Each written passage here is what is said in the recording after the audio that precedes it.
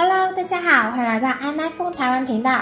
随着谷歌官方举行的2024开发者大会，正式推出了安卓15的版本。很多原本使用 iOS 的用户也想体验最新的安卓功能，但是 iOS 转安卓烂对话和资料怎么办？一般像三星或者是 vivo 这种安卓装置会提供同系统的数据传输功能，但是如果想要跨系统将烂 iOS 转安卓的话，就会比较困难。不用担心，今天影片将会和你分享如何将烂 iOS 转安卓，即使是最新的 iOS 十八和安卓十五也能支援。iPhone 转安卓烂前，你可能想要知道哪些资料是可以转移的，哪些不可以。根据官方资讯，我们提供了以下图片，展示了哪些资料在你移动账户后，会跟随 iOS to 安卓烂的转移过程中保留下来。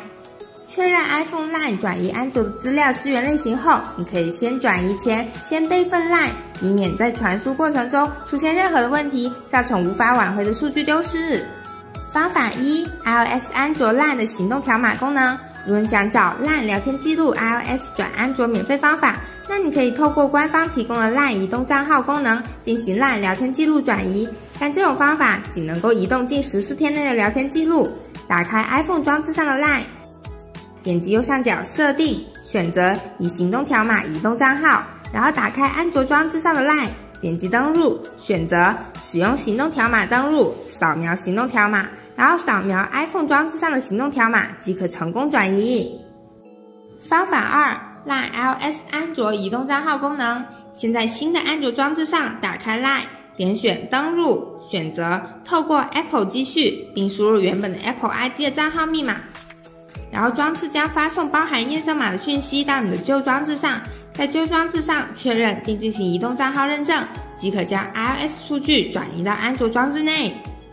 方法三：另存 TXT 文本将 iOS Line 转安卓，但这种方法只能查看，无法直接转移到安卓 Line 上。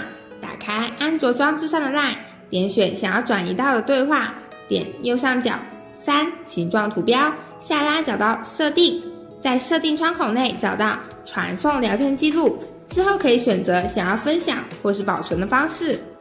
方法四：透过 LINE 转移工具实现 LINE iOS to 安卓。如果想要保留近十四天内的所有 LINE 聊天记录，那你可以使用 iOS 转安卓 LINE 工具 iPhone iTransfer LINE，一键将 LINE iOS to 安卓。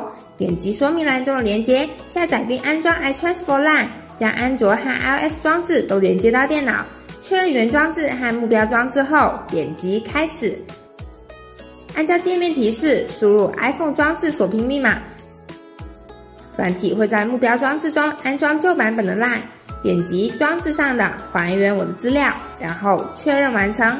在目标安卓装置上下载最新版本的 Line 后，点击下一步后，登录相同的账号，软体就会开始将 iOS 转安卓 Line 资料。好啦，今天的影片就到这里喽。最后别忘记订阅我们的频道，我会随时分享更多烂转移相关的小技巧。有问题的话，也可以在留言区我交流，我也会一一回复大家的。拜拜喽！